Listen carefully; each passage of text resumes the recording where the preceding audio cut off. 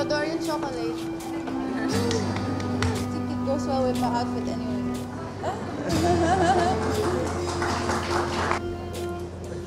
Hola, Ecuador. Thank you so much. I feel that this is very close to my heart because also unfortunately we have calamities in the Philippines too. I have also worked with the Red Cross before as a volunteer. Again, thank you so much to the city, to the National Director of Miss Ecuador,